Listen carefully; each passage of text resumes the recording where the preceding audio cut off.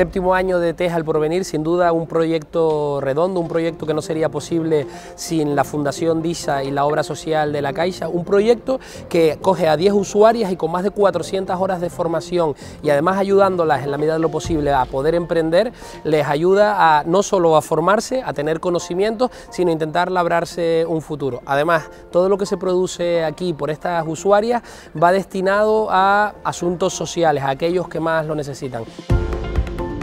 Dar las gracias a la Sociedad de Desarrollo por haber confiado en mí, este proyecto.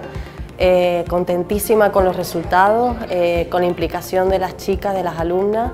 ha sido el 100%, eh, se han mantenido hasta el final de forma activa, productiva y con muchísimas ganas de aprender hasta el final.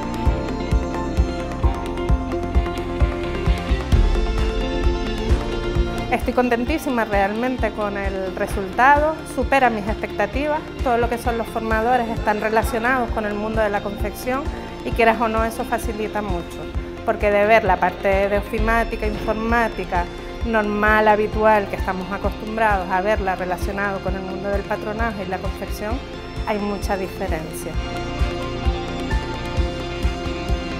Yo tuve mucha suerte a tener ese curso de que por venir y la verdad que he aprendido muchísimo aquí y me gustaría tener otro curso a seguir aquí y tener con Nancy, que nos ha enseñado muy bien.